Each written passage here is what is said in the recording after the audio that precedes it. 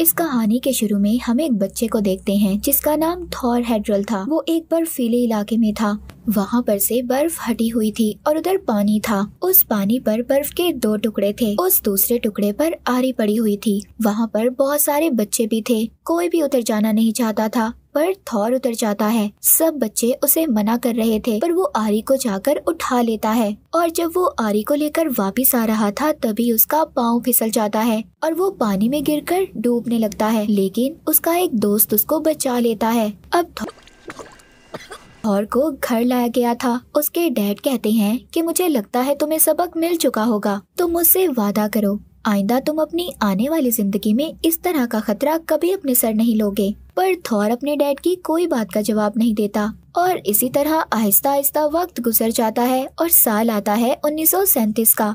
Thor अब बड़ा हो चुका था अलग अलग जगहों पर घूमता था और वहाँ के लोगों के बारे में रिसर्च करके अपनी किताब में लिखता था। थौर यहाँ पर इसलिए आया था ताकि वो यहाँ पर रहने वाले लोगों के बारे में रिसर्च करके इन लोगों के बारे में जान पाए। एक दिन वो अपनी दोस्त के साथ आइलैंड पर बैठा था। उनके पास एक बड़ा आदमी आता है। कहता है कि ये दास्तान गॉड ही जाने कि हम लोग ईस्ट से यहाँ पर कैसे आए हैं। थॉर कहता है अच्छा क्या आप वाकई ही ईस्ट से आए हैं? वो बूढ़ा आदमी कहता है हाँ। हर एक चीज़ ईस्ट से आई है। जैसे हवा, सूरज की रोशनी, सब कुछ, और हम भी इस सूरज की रोशनी की वजह से यहाँ पर आए हैं। वो बूढ़ा आदमी अब इसको एक मूर्ति दिखाता है। एक स्टैचू। ये मूर्ति इनके देवता की थी। तो कहानी कुछ यूँ है कि ये सब लोग साउथ अमेरिका से आए थे। पर कुछ लोगों ने इनके बारे में गलत लिखा है कि सब लोग यहाँ पर एशिया से आए हैं। थॉर इस बात पर बहुत हैरान था। अब साल आता है 1946 का। थॉर पिछले 10 सालों से इन्हीं पर रिसर्च कर रहा था। उसने इस बारे में अपनी एक किताब भी लिखी। उसने अपने 10 साल आइलैंड पर गुजारे थे।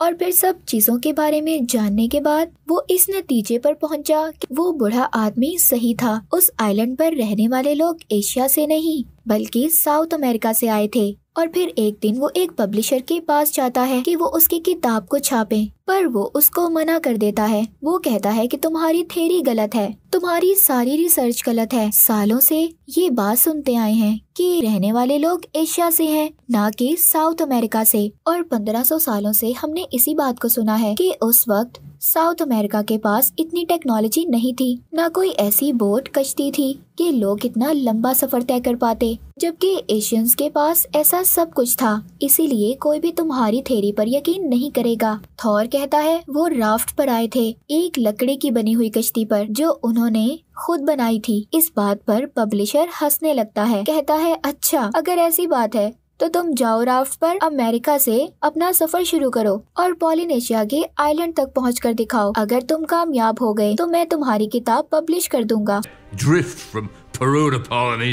आप दूँगा क्योंकि वो पब्लिशर ऐसा इसलिए कह रहा था कि इतनी सी राफ्ट के ज़रिए बड़े से समंदर को पार नहीं किया जा सकता। और अब थॉर के पास अपनी बात को साबित करने का सिर्फ़ एक ही रास्ता था। कि वो साउथ अमेरिका से अपना सफ़र शुरू करे। एक राफ्ट पर, जिसका सफ़र 8000 किलोमीटर से भी ज़्यादा था, वो भी ऐसे समंदर पर जहाँ पर बड़े बड़े शिप डूब जाया करते थे। इन सब के लिए थॉर को पैसों की भी ज़रूरत थी। वो मैगजीन वालों के पास जाता है और उन्हें बताता है कि ये 8000 किलोमीटर लंबा सफ़र तय करने वाला है। वो भी एक लकड़ी की ऐसी राफ्ट पर, जो 1500 साल पहले चलती थी, जिसमें कोई भी सहूलत नहीं होगी। मैगजीन वाले कहते हैं, क्या तुम मरना चाहते हो? हम ऐसे लोगों को पैसे नहीं देते जो जानबूझकर मरना चाहते हो। अब वो क्लब में जाता है और ऐसे लोगों से मिलता है जिन्होंने अपना बहुत सा वक्त समंदर में गुजारा था। वो उनको एक राफ्ट का नक्शा दिखाता है। क्या तुम मेरा साथ दोगे? तभी उनमें से बैठा हुआ एक आदमी बोलता है, क्या तुम जानते हो ये कितना मुश्किल है? तुम जो मुझे राफ्ट का नक्शा दिखा रहे हो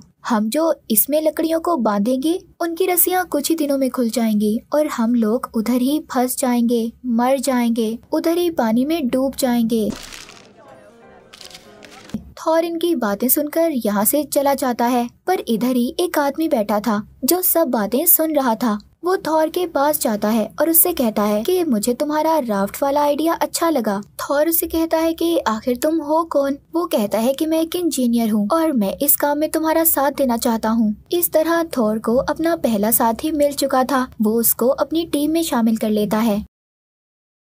अभी भी उसको इस काम के लिए पैसों की ज़रूरत थी। वो अपनी बीवी को फ़ोन करता है और कहता है कि इस क्रिसमस पर घर नहीं आ सकता मैं। मैं एक सफ़र पर जा रहा हूँ। उसकी बीवी मना करती है, कहती है, नहीं, ऐसा नहीं करो, ये बहुत मुश्किल है। वो अपनी बीवी से कहता है, अगर मैंने ऐसा नहीं किया तो मैं खत्म हो जाऊँगा। मैंने अपनी ज़िंदगी के दस साल इस रिसर्च पर खर्च किए हैं। और ये कहकर वो फ़ोन को बंद कर देता है, जिसके बाद वो अपने साथी के साथ एक जगह पर जाता है, जहाँ पर बहुत सारी लकड़ियाँ थी और इसके तीन साथी भी थे। अब ये पूरे पाँच लोग थे। थॉर इनसे कहता है, हम इसमें किसी चीज़ को नहीं बदल सकते। नहीं तो हमारा ये दावा गलत हो जाएगा कि वो लोग ड्राफ्ट पर आए थे। वो एक आदमी के पास जाता है जो बहुत अमीर था।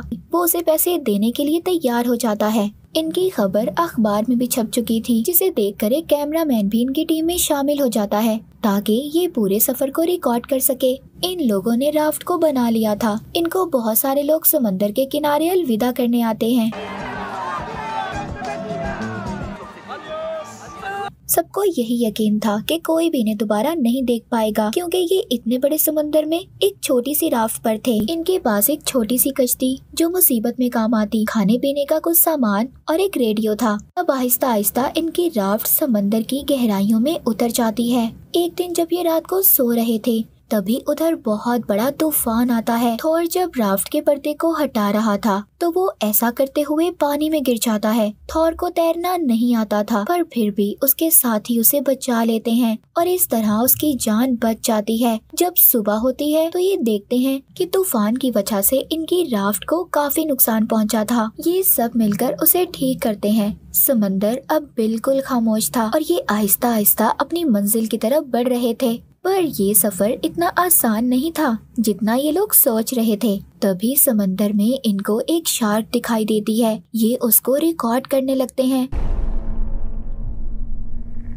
तभी थॉर का पहला साथी जो इंजीनियर था, वो देखता है कि शार्क इनकी राफ्ट के नीचे से गुजर रही है। ये बहुत ज़्यादा डर जाता है। अब ये उधर ही शार्क को मारने वाला हथियार उठाकर उसके ऊपर फेंक देता है। उसके साथ ही उसे रोक भी रहे थे, पर वो नहीं मानता। जो हथियार इसने फेंका था, उसके साथ रस्सी बंधी हुई थी और वो शार्क को लग जाता है, जिससे वो पागल हो गई थी। वो समुन्दर में घूमने लगती है। इनकी राफ डूबने वाली थी, पर बच जाती है। इसके साथ ही की इसके साथ लड़ाई भी हो जाती है। वो कहता है कि तुमने ऐसा क्यों किया? हम बहुत बड़ी मुसीबत में फंस सकते थे। यहाँ पर थॉर सबसे कहता है कि यहाँ पर कोई किसी के साथ नहीं लड़ेगा। मैं तुम लोगों का लीडर हूँ। जो कहना है, मुझे कहना है। इसी तरह दिन गुजर जाते हैं। इनका रेडियो भी काम करना बंद कर देता है और इनका रहा किसी से नहीं हो पाता। इंजीनियर साथी भी पागल होने लगा था। वो सोचता है, बहुत जल्दी ये राफ डूब जाएगी।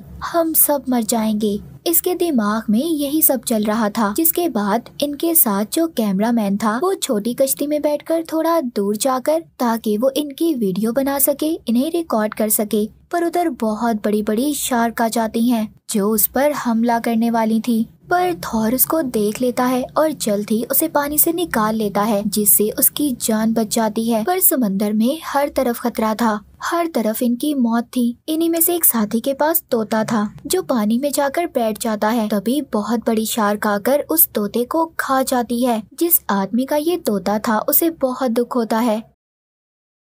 जब वो शार्क इनकी राफ्ट के पास आती है, तभी वो आदमी इसको पूंछ से पकड़कर राफ्ट पर लाकर ये सब मिलकर इसे मार देते हैं। अब शार्क को तो इन्होंने मार दिया था, पर उसका खून पानी में फैल जाता है, जिससे और भी शार्क्स इनकी राफ्ट के पास आ रही थी। वो इंजीनियर साथी बहुत डर जाता है। तभी वो एक बॉक्स लाता है, जिसमें लोहे की तारें थी। वो कहता है कि हम अपने राफ्ट को इससे बाँध लेते हैं, नहीं तो हम डूब जाएँगे, इस शार्क का खाना बन जाएँगे। पर थौर उससे वो लोहे की तारें लेकर फेंक देता है और कहता है, नहीं, हम बिल्कुल वैसे ही जाएँगे। जैसे पंद्रह सौ साल पहले लोग गए थे, इन सब बातों से इंजीनियर का दिमाग खराब हो जाता है और उसका पाँव फिसल जाता है, जिससे वो बेचारा पानी में गिर गया था। इससे पहले वो शार्क का खाना बनता।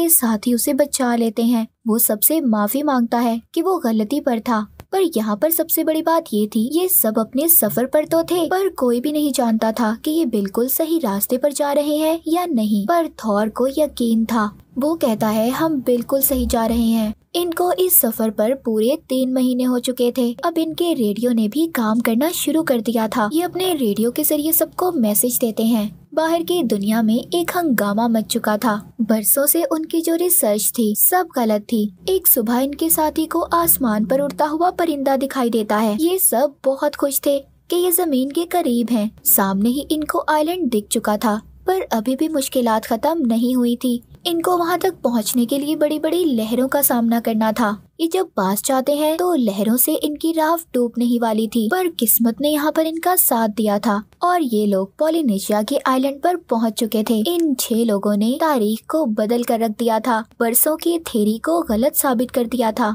तो इस कहानी से हमें ये सबक मिलता है। कि दुनिया में कोई काम मुश्किल नहीं। अगर हमारी सोच सच्ची है और काम करने का जज्बा सच्चा हो, बड़ी से बड़ी मुसीबत को आसानी से हल किया जा सकता है। जैसा कि इन छह लोगों ने किया, थोर को अपने आप पर यकीन था कि वो इस काम को कर सकता है। इन छह लोगों ने अपनी जान पर खेलकर 101 दिन के सफ़र को पूरा किया और अपना नाम हिस्ट्री, तारीख में लिखवाया। और इससे ये बात साबित हो गई थी कि पोलिनेशिया के आइलैंड के लोग एशियंस नहीं बल्कि साउथ अमेरिका के थे। जिस राफ्ट पर इन्होंने सफ़र किया, उसका नाम कॉन्टिकी था, जो इस मूवी का नाम भी है। और इसको आज भी म्यूज़ियम में रखा गया है। और हर साल हज़ारों लोग इसको देखने जाते हैं। और इसी के साथ ये मूवी की सच्ची कहानी यहीं पर खत्म हो जाती है।